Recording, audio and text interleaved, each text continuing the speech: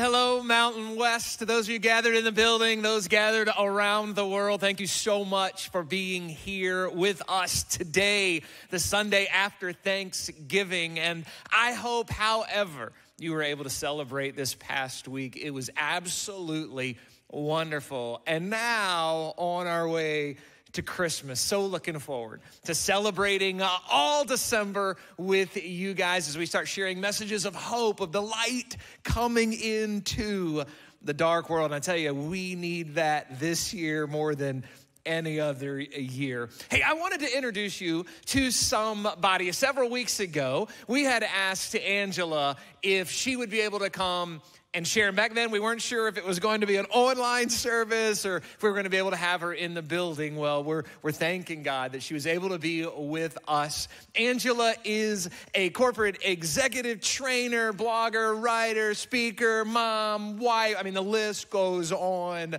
and on. I know you're going to enjoy what she has to say today, but more important than all of that is she's family. She's a follower of Jesus Christ, our Heavenly Father. She's a sister to us, and we are incredibly thankful for her. So she's going to share with us. But if you will, I know we've, LaRon just prayed, but if you will with me, let's pray over Angela for the Holy Spirit to just work in her and speak through her today. Will you bow your heads with me? Father, thank you so much for this opportunity to share this stage with your daughter. And Lord, I pray right now, may your Holy Spirit just anoint her, speak through her today, right into our lives, Lord, and may your word challenge us, may it transform us. We love you. Thank you for this opportunity. In Jesus' name we pray. Amen. Mountain West, would you welcome Amen. Angela? She speaks Amen. to us today. Thank you, Pastor Michael. Good morning, Mountain West family. And that word means so much to me, particularly in this season, but specifically in this house. My husband Patrick is here with me today. I'm so thankful. My, our sweet boys are at grandmother in loves, maybe watching mom, probably battling reindeer that she has positioned strategically at her home. I'd say they're battling reindeer, but hello to our boys at home. We have a picture of my family. I, I, brought a picture to share with you all, but they are just my lights. I absolutely adore them.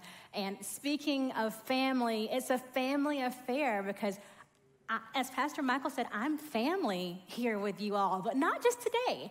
I've actually come to Mountain West a few times in the past and that was at the invitation of my brother in love. You all know him as RJ. I call him Wrath. I'm the only one in my family that calls him that, so don't try to take it. I call him Wrath. But he's my brother in love because his, my best friend I met in college, his beautiful and brilliant wife Joy was also my college roommate, and they, the Farrells, are here today just to love on me as well as they support me uh, here with Mountain West family. And it, if you're making those connections, yes, I married Joy's brother. So my husband Patrick is Joy's brother. So it is a big old family affair. Our boys that you saw earlier on the picture, they absolutely adore their children, Parker and Michael. I see little Michael here in this service today. I'm so blessed to have you all here. I love being amongst family. And family, the holidays, it all evokes emotions in all of us, right? Feelings of nostalgia, nostalgia from when we were children, seeing those Christmas lights, smelling all the food that y'all ate. I know many of you may still be full from last week. I'm gonna pinch one more day out of that food. One more. I, I, can't bring myself to cook or bring anything new. We're gonna finish off what we started from last week and get full off of those leftovers. Tonight, one last dinner, one more time. But even the smells, and I have to think about even my not so favorite, the fruit cake. My father loves Claxton fruit cake. If many of you love fruit cake, you are right there with him. But those foods and those things really spark just the days of old from when I was a child, and the holiday season seems to really do that. Our boys love the holidays, just as I did as a child. And when you become a parent, seeing the holidays through your child's eyes, it does something to you. It brings back that childlike wonder that we all had at some point. But also during this time, it can be bittersweet. Loved ones that are no longer with us, that had those traditions. Even in the times that we live now, being physically separated, having Thanksgiving connections over Zoom. I know I had to do that with my family this year, and thank God for technology, we were able to do that. So, no matter what end of that spectrum the holidays bring for you, you know, feelings of joy or feelings not so much of joy, we all can agree that this has been a time that has truly bound us in more ways than one. And as I was thinking about our time together today, it made me think and reminisce about growing up in my home church. You may catch it throughout our time together, but I am from rural South Georgia, i.e., the country.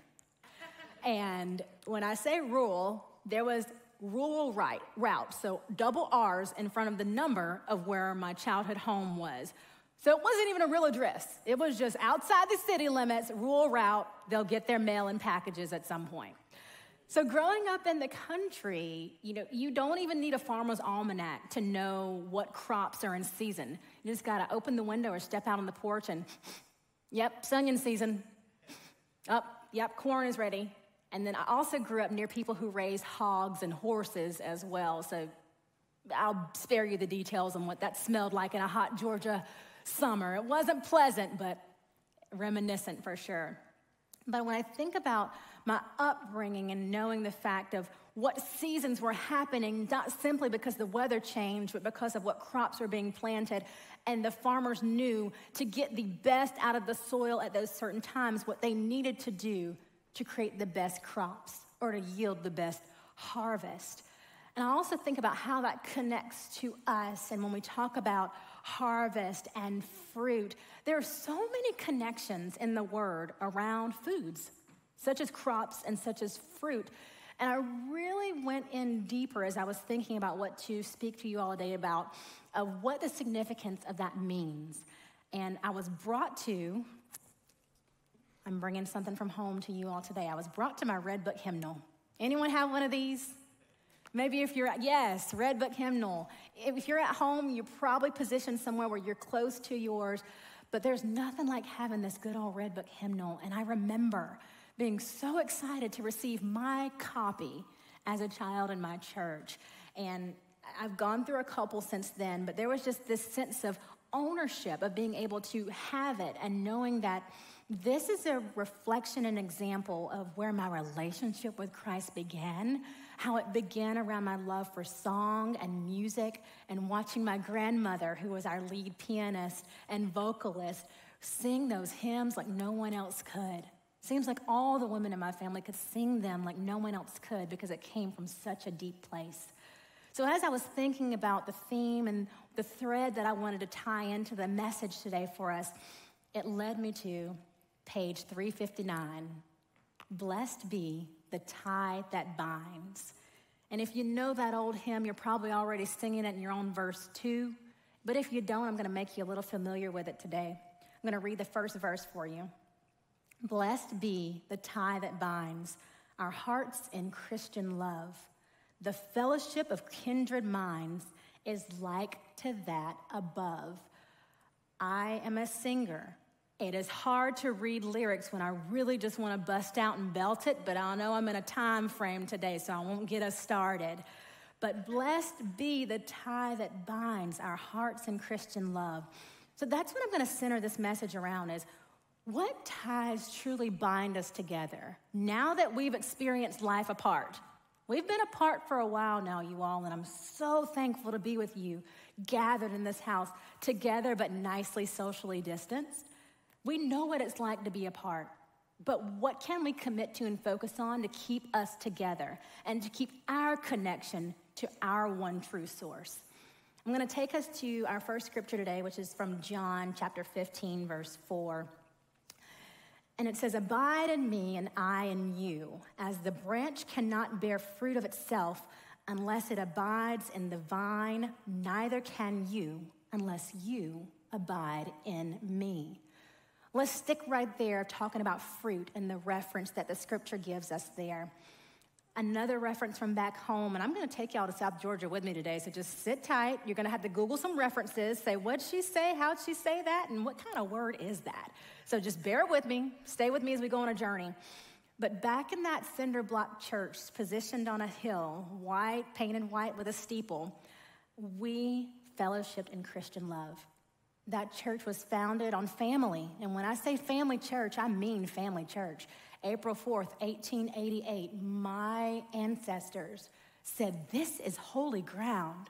We will worship God here in this place. And they didn't get to see me, but I know their prayers have prevailed because the love that I still have for my home church, it still remains true. And so from generation to generation, my family was reared around the legacy of church and that foundation and showing Christian love and giving. And one of the things that the deacons and the deaconess board, deacon and deaconess board, write that one down if you're not sure, but deacon and deaconess board, they did every year on the, the Sunday before Christmas, they would have these Christmas bags or Christmas sacks. And that's literally what it was a brown paper sack, and it was filled with fruit apples, oranges, and perhaps, depending on the time, there was maybe a peppermint stick or peppermint candy, as we called it, or penny candy. Now, if you grew up in the country, you know penny candy was the, penny, the candy that you got for one cent around the corner at the store, penny candy unmarked, so butterscotch discs, cinnamon discs, and those little strawberry candies that no one still quite knows the name of, but they're really good when you're hungry in church. So they were in the bag along with nuts. Pecans were big where I'm from, so either pecans or walnuts or peanuts. But that bag symbolized so much more than just the modest things that were put in there. Because many of you are thinking, okay, fruit, uh, some candy, and some nuts what's the significance there? That's not a gift.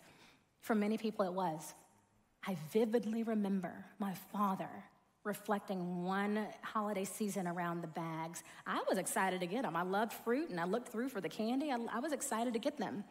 But he shared that how far he's come through the grace of God to be able to provide his children gifts that they need, but also things that they wanted because he didn't have that same luxury growing up as a child. Those the Christmas sacks that came from church people that would deliver them to his neighborhood and to other children, that sometimes was the only thing they got for Christmas. And they looked forward to those sacks.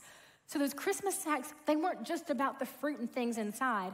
They were symbols of love, of Christian love and Christian giving to those that either didn't have or just weren't able to provide for others. So when I think about those sacks, I think about the fruit that was in there. And when I think about fruit, I think about how it grows and how we call my children to say fruit flies. I ate so much fruit with them when I was pregnant with them. That's an appropriate name to call them fruit flies. I can't seem to keep enough fruit in the house. But I also think about the process of how fruit is yielded. And I landed on talking about or thinking about the muscadine. You're probably saying, say that again, Angela? The muscadine. If you're not familiar with the muscadine, it is a big old country grape that grows in the hot Georgia sun. It doesn't need much maintenance, but I call it a big old tough grape. And it's got tough texture on the skin, but boy, when you have one, you won't forget what it is. So, my grandparents, they had a backyard that backed up to a wooded area that my cousin and I, we were always at my grandmother's house. We called it the Enchanted Forest. And right there at the entrance of the Enchanted Forest was this big arbor. And you guessed it, what covered the arbor was a muscadine vine. I mean, this thing was big. We ate off of it, neighbors ate off of it. If you wanted muscadines, you were more than welcome to pick them from that vine. And as I looked at it as a child, I thought it was just really intricate because the vines just didn't grow straight and curve over and go down naturally. Muscadine vines, they twist, but they also have to be trained to grow that way. They have to be trained to grow over and to grow down. So that meant my grandfather and my grandmother, they knew that not only did the vines need to be trained, but they also needed to be pruned at certain points in the season but that vine can't grow by itself. Me as a child picking those muscadines off, not even thinking about washing it, we wrenching it off. If you're from the country, you'll understand that. But didn't even think about washing it off, but knowing that it was sweet, It was tended to by my grandparents, and I really enjoyed eating them. But when I thought deeper about that reference, it reminded me that muscadines are resilient. They are a tough grape. I told you that's what I call them, and that's what they are. They're a tough grape. They grow from not the best soil, but if you just give them time, they'll yield something real good for you. But the critical pieces to that are the fact that the vines are the ties to the fruit, to the root, and the root to the tree. No fruit is produced without the vine, and the vine cannot function without the root. The vines are necessary, the vines are vital. The vines are like the veins that we have running through our body, but connected to the fruit producing system. They are essential to the experience of what I was able to experience in reaping the sweetness of what muscadines were growing up. I want you to think about that part. What ties are essential to your experience in this life? What ties are, are essential to your experience in this life, but I want to also take you to the other side of that spectrum. What ties are not essential to your experience in this life? And how did they even become a part of you or attached to you? And what are you going to do to sever those? It's about commitment. It's about understanding the ties that are going to yield results for us and fruit, and the ties that we just need to disconnect from.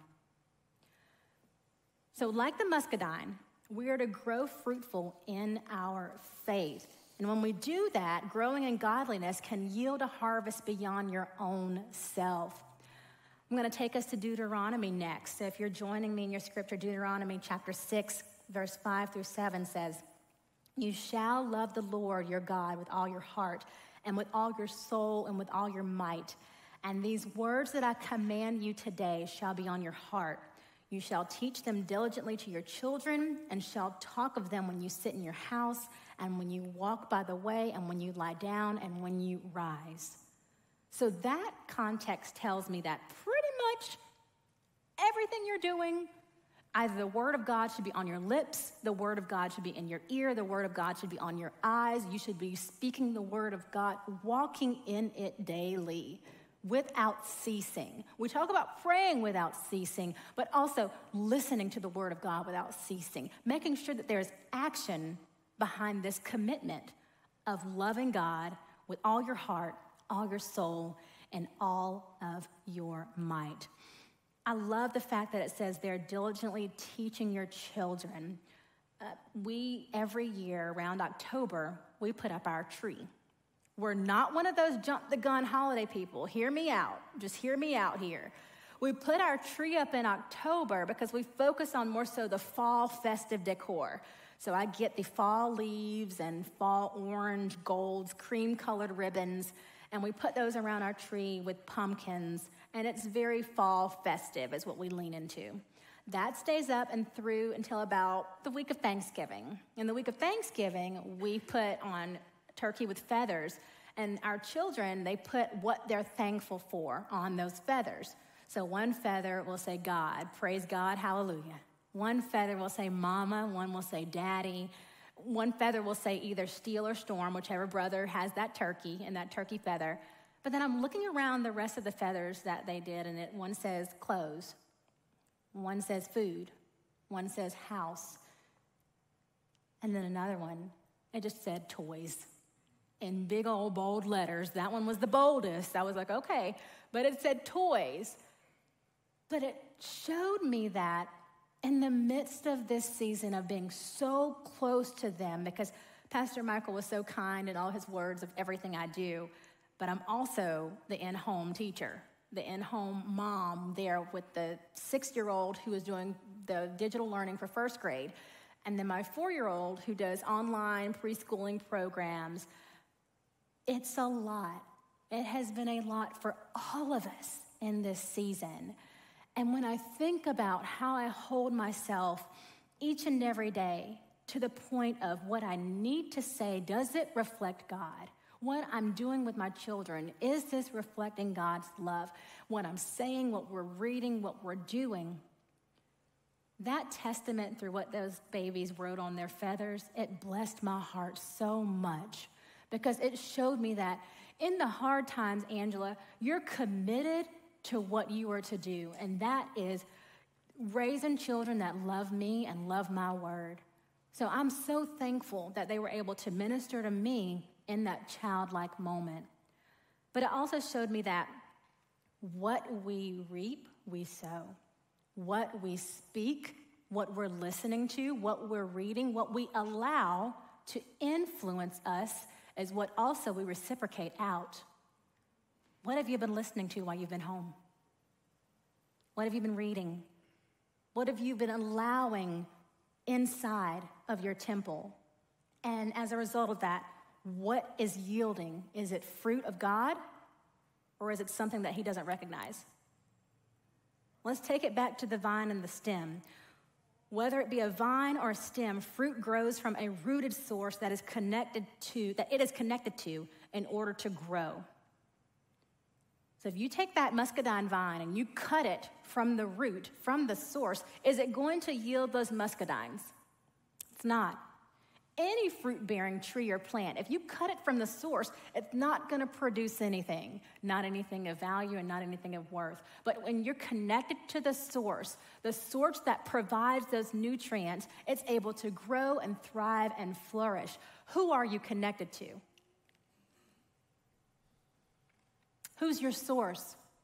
Who are you rooted to? And when I think about that word root, I don't just think about it in the form of illustration with fruit, but also in our lives. What are your roots connected to?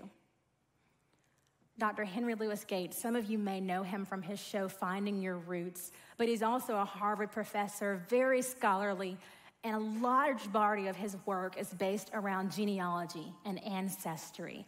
And the premise of the show is to take you know, influential people such as celebrities, uh, dignitaries, and he digs through their family lin- lineage to show how they're connected to other people. I absolutely adore it. I'm a fan of his work because I truly believe the more human connection we can understand from each other, the closer that brings us together. That tie that binds. And so, well beyond the time of finding your roots and knowing even who Dr. Henry Louis Gates was, I have to credit my love for this historical quest to understand more about not just my family, but people. I have to credit that to my mother.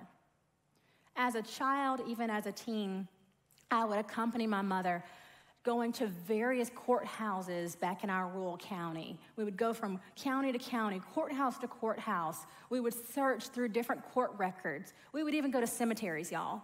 Some of you are like, wait, what? Say that one more time.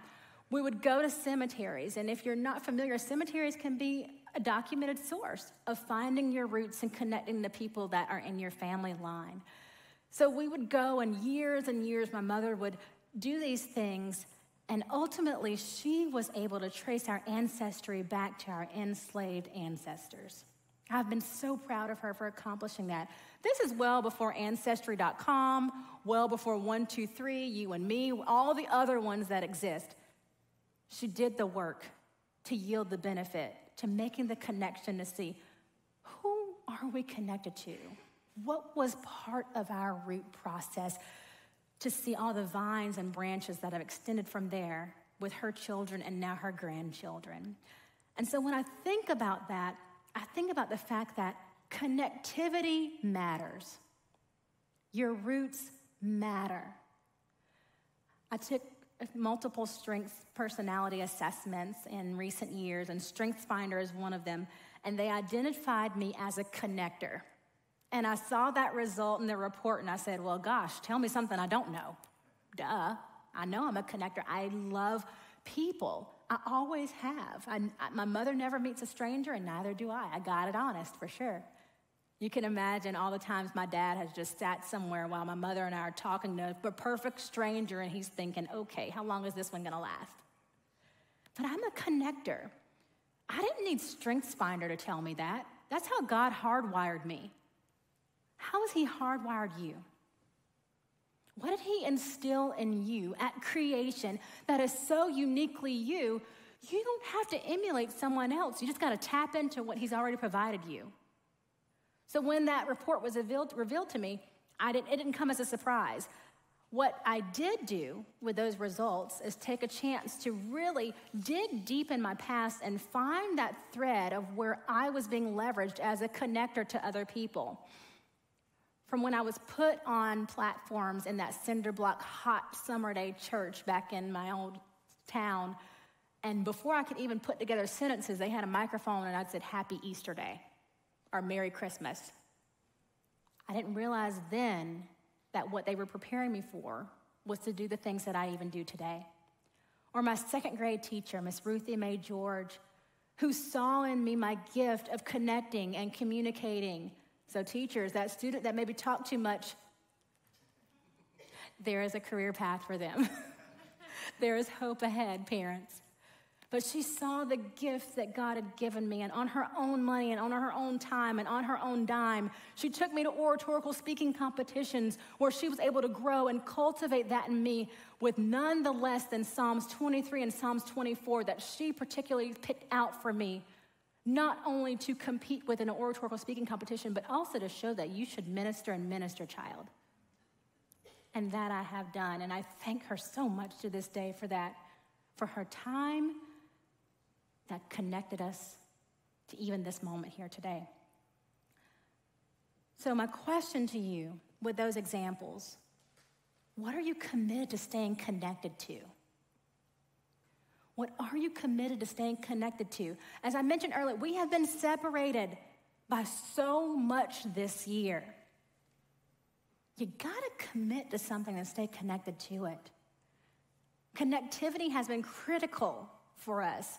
For years, we've been able to go as we please, move and groove, do all the things together, and fellowship in that way.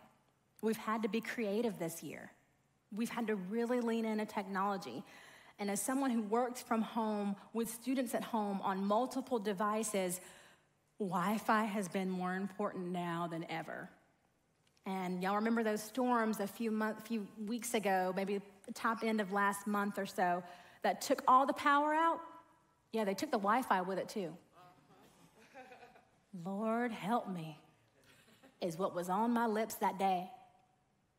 Because you see, if I don't have Wi Fi, I can't connect to people who, I, who are entrusting that I'm able to share content with them and messages with them and to do my job. But my child can't connect to his teacher to get the information that he needs and to reciprocate what he's learned to her it matters in this season of working from home.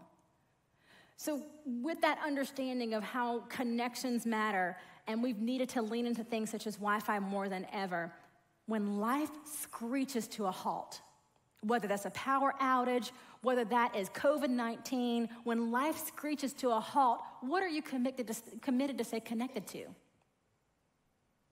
We don't know if something like this is going to happen again in the future. What we do know is who holds the future. Are you going to commit to Him and trust that He has already orchestrated on your behalf, on the good of your behalf that He has for you? Are you going to panic and run like everyone else? Are you committed to staying connected? This idea of community, it's nothing new to God. It's nothing new to God. Community comes from a sense of responsibility that we have for each other. God encourages us to take care of our brethren while following the word of the Lord.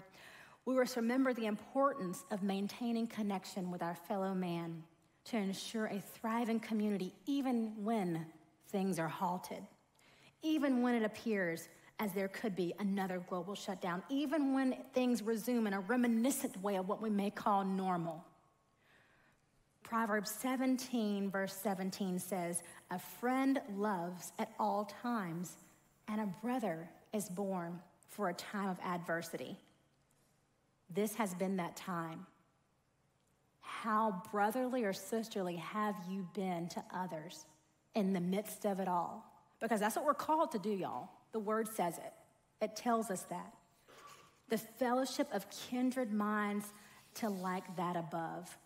Keep that theme, the ties that bind us together.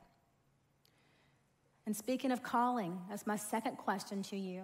So we talked about what are you committed to connecting to, but are you committed to your calling from God? Some of you this season has been has given you a lot of time. You've been given a lot of time at home or wherever you've been staying. But in that time, what have you heard? And what are you clear on when it comes to your purpose and your clarity and your calling? For me, when I look back, and this is a phrase from back home that the elders used to say, when I look back and take inventory, I never really stood what that meant, understood what that meant as a little girl. Now that I've gone through some things, oh, I understand that phrase good and well. But it says, when I look back and take inventory, and this year I've been able to do that. But as I look back, what am I noticing? What are those themes? And for me, it was the fact that I've always been called. I know I have. I just chose to answer it my own way. And when I think about that, I think about one of the most revolutionary devices of our time, the mobile phone. I grew up with a rotary. Anyone else grew up with a rotary dial? Yes, I'm, I'm on the hunt for one just to kind of put it and say I have one. But an old rotary, and to show my children, because they're probably thinking, what is that? But an old rotary. And the phone, when it first came out and what we knew it to be used for, to do two things you make a call and you end a call. You make the call and you end the call. That's what my grandparents would say. You just make a call and you end a call. What's all the rest of the stuff that the phone has to do? But the mobile phone has really revolutionized what we do, how we do it, and why we do it. You can end a call, you can begin a call, you can send a call to voicemail, you can listen to that voicemail without the person you or you're listening and have that voicemail saved, transcribed, sent to your email, and then deferred for later. The phone can do a lot. The power in your mobile phone is more than they had when they sent the first man to the moon. Y'all do know that, right? If you don't, fun fact for the day. But that is incredible. So when I think about your calling and that illustration of a mobile phone, how many times have you silenced God? How many times have you put your calling on mute to do something else? How many times did you delay that calling? I'm standing here telling you because I've done it. I'm not pointing a finger at you because, as my pastor says, I've got three pointing right at, back at me. I've sent God to voicemail. I'll, I'll, get to it, Lord. Just let, let me figure this out. I, I know it's on my shoulders. A first generation college graduate, uh, you know, someone coming out of a small town, and I made it because I got out. You know, someone that is the product and the daughter of someone who struggled with alcoholism and growing up and seeing that, going to AA meetings and understand the weight and the chains that people have been bound to because of that. I know, God, I understand, I hear you. I'm going to send you a voicemail though. Or, hey God, yeah, I'm, I'm, I really just need you to come through for this opportunity. Can you just, you know, make this happen using opportunity as an identifier? So I'm going to just text you real quick, but, you know, make it happen. I wasn't committed all in for my calling because I wasn't committed to Him. Are you committed to your calling? First Peter chapter 1 verse 13 through 16 says, "Therefore, preparing your minds for action and being sober-minded, set your hope, hold on to hope. Put that right there in the forefront of your mind. Set your hope fully on the grace that will be brought to you at the revelation of Jesus Christ. As obedient children, do not be conformed to the passions of your former ignorance." But as he who called you is holy, you also be holy in all your conduct, which is written, You shall be holy, for I am holy. There it is. It's right there in our text. It's clearly stated, but not easily executed. The enemy knows this. He knows it and he knows it good. He knows that our call to be holy is clearly mandated by God, but yet he uses little cracks and crevices to get in and to exist when we are not committed to that calling. In that verse, did you happen to catch the word obedience? That's a word some of us struggle with. And I don't find it a coincidence or a surprise that they use the example of obedient children for that. I was that obedient child. I had a brother and sister that were 10 years ahead of me. They were back to back, and then I came a little on later. But my brother often says, Hey, you had the golden years. You know, we messed up, made mistakes, and paved the way for you. And I said, I'm thankful. I said, I watched what y'all did, and I made sure to steer clear of that. I was the obedient child after watching and waiting. But I think about my own firstborn son, and he is so much like his mama. He has that tender heart. He wants to do things right the first way and just toe the line. But on occasion, he might, you know, drift a little bit over to the land of where our little four year old is sometimes, where, can you say that again? This, this right here, this line, don't step across this one. And I vividly remember those times, very few and far between, where my husband and I have had to correct him verbally. And that in itself of just saying, hey, you know that wasn't right. Why do you choose to do that that way? But the words in themselves were just as if somebody walked out to the muscadine vine and the tree behind it snapped a branch and was walking towards the porch. If you grew up like that, you knew what was happening next, right? But those words are that illustration to our son, but he is just obedient. And I don't find it a surprise that the scripture talks about obedient children because that's what we are, y'all. I don't care what your license says, how old you are. I don't care how old you are adult, teen, tween, all these names, we're all children of God. We are all called to be holy. And in that, we have to adopt the mindset of obedience. Obedience is a discipline. It's a discipline. Some of you are super disciplined when it comes to your body, staying fit, working out. Kudos to you. I'm not in that club. I thank God for good genes and just trying to eat right and running after kids. But it's a discipline. It is a discipline. And when we choose not to submit to obedience, we create obstacles instead of opportunities. Opportunities orchestrated by God. Our own disobedience is a barrier. Our own disobedience is a barrier. I think about a wall coming down, and it's something that I created because I wasn't obedient. There's a saying back home that I can show you better than I can tell you, and I think God is the master of that. He can show you better than he can tell you. I can stand here all day. We don't have all day. But I, I, can stand here all day and tell you about the goodness of God and how faithful He has been, not just to me, but to my family, generation after generation of things that the enemy tried to use to take us down, whether that was alcoholism, whether that was poverty, whether that was abuse. I can stand here and say that God is good. And He has been good and He has been faithful. But He can show you better than I can tell you if you trust Him.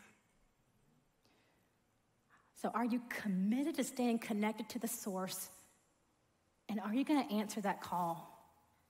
We're not promised tomorrow, we are not promised this afternoon. So, it should behoove us with the time that we have in this experience of life to be obedient to our calling and honor our God. We're not carbon copies of each other. We are cre- cre- creator crafted. We are handcrafted by the master designer. Your calling isn't going to look like your neighbor's.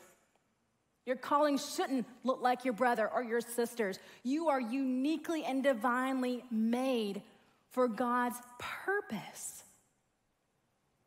Listen to what He's telling you, listen to your calling. Hear from him. Feed your body with his word. Because the more you are here, the more you can hear him clearly. So, my last question and point to you I mentioned that obedience is a discipline.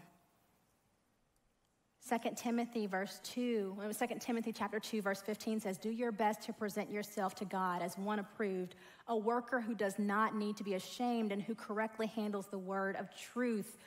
That right there is an example of your individuality. You present yourself to God, not a carbon copy, not a recreation. We have enough of each other. One is enough.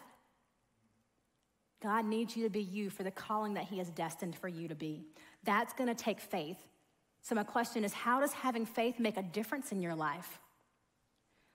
Hebrews chapter 11, verse 1 through 3 says, Now faith is the substance of things hoped for, the substance of things not seen. For by it the elders obtained a good testimony. By faith we understand that the worlds were framed by the word of God, so that the things which are seen were not made of things which are visible. Quite simply, that says, y'all, if God said it, I believe it. That was a song I used to sing as a little girl. God said it, I believe it. God said it, I believe it. I'm going to take him at his word. He's got a great track record, y'all. If you haven't tried it, try Jesus. He won't disappoint you like this world will. He won't. So, by faith, this is faith. By faith, we don't have to see the finished product to begin the work. The craftsman doesn't. When he picks out his wood, he doesn't see the finished product, but he keeps his eyes on the mission of creating it. We don't have to see what's around the bend to get to our destination.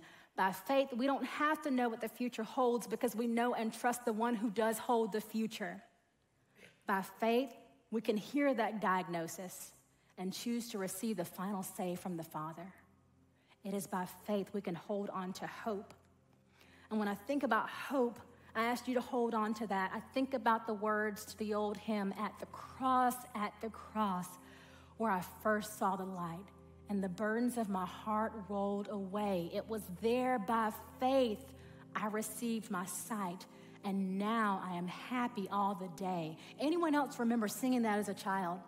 It made me happy because I liked the tune of it and the words sounded great, but I had to go through some stuff in my life to understand what that really meant. I wasn't talking about physical sight. The vision of what God gives us through faith I've got LASIK, but that's way better than LASIK. I'll take God vision over that. It was there by faith I received my sight.